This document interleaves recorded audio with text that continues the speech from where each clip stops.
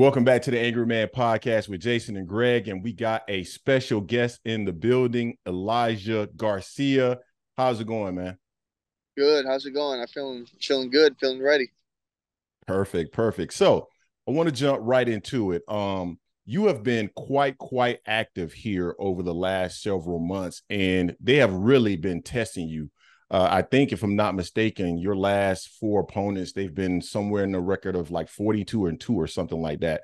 So, what's the driving force behind how your how your uh y- your level of activity currently? Um, uh, I don't know, man. I just, I, you know, I like to stay active and I like to get better each fight. Um, and getting better with each fight, you know, of course, can be better opponents. Um, you know, stronger tests. You know, we ain't trying to take too big of a leap, but you know, each fight we we do want to get better and we uh, want to keep improving. Gotcha, gotcha. So your last fight was against Kevin Salgado. Uh, really good fight, good performance for you. How would you grade yourself in that performance? Uh, to be honest, that that was not my best performance. You know, uh, I give you know Kevin Salgado. He's he's a real awkward fighter. He's a really experienced fighter. You know, he's a Mexican Olympian. Uh, he, I give him, I give him lots of credit because you know he, he made it tough for me. And, uh, I just put my game plan, but you know, I should have came out, I out more, more alert. You know, I should have came out more boxing. It's just, uh, Kevin Salgado's a good fighter, man. I, I give him respect. Gotcha, gotcha, gotcha. So you're on the undercard of Canelo versus Jermell Charlo. You're going to face Jose Resendiz. And he faced, I believe you two, if I'm not mistaken, I believe you two were on the same card back sometime in April, if I'm not mistaken. And he faced Hurd.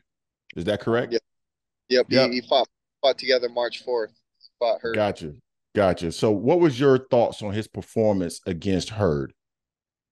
Uh, you know, to be honest, I didn't really watch the fight, but I remember we drove together up in the same bus because we were both the we were both the B side. We drove together in the same bus. We were talking to each other, you know, hanging out.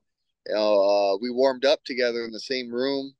Um, you know, I did. I, I didn't really think nothing of it until you know after I fought, and then you know, my dad was like, "Look, you might have to fight this guy now. You know, you guys both win. You know, whatever." But um, you know, it came sooner than we thought. And uh, Armando Resendiz had a great performance against Hurd. You know, he stopped him in like the ninth or tenth round, and um, you know Armando comes to fight and he comes in shape. Yep, yep. So, without revealing your game plan, you know what what do you need to do in order to be successful in this fight against Resendiz? You know, I got to take control. Armando Resendiz, he likes to throw a lot of punches. You know, he likes to throw a lot of punches and he likes to come forward. He likes, you know, he he likes to he likes to control the pace. So if I can control the pace, you know, and fight my fight, I believe it'd be an easy victory for me.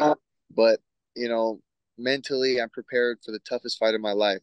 Physically, you know, I'm prepared to go 12 rounds if, if I had to. So I, I I'm just ready. I'm ready to get the show on the road. Gotcha, gotcha. Um, so as far as I can see, you know, you're being moved aggressively. You're on a, a, championship path. More than likely, if you win this fight, you'll be prospect of the year.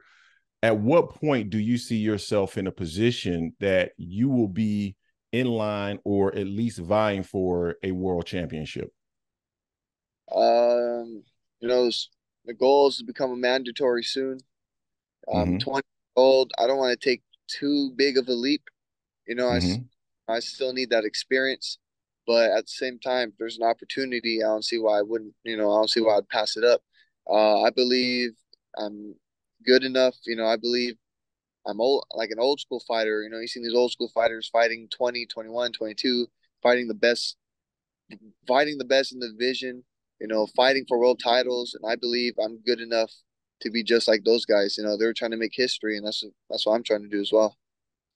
Yeah, um, so when you think about the champions in the division and some of the fighters, you got Jermell Charlo, you got Adames, uh, you got Lara, um, and yeah. I know you're highly ranked in all of those, all of those, uh, by all those sanctioning bodies.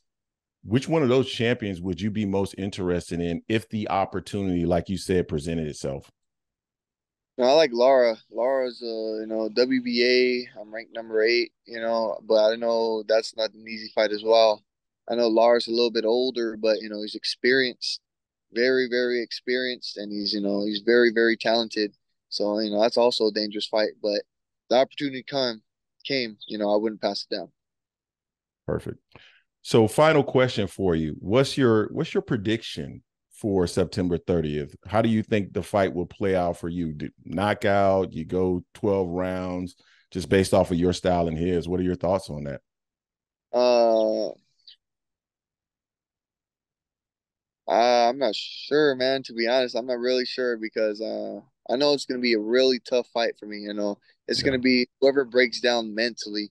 But I know if I fight my fight and I and, and I fight a perfect fight, I'll I'll win by knockout. You know, but that's not the plan. You know, plans to plans not to look for the knockout.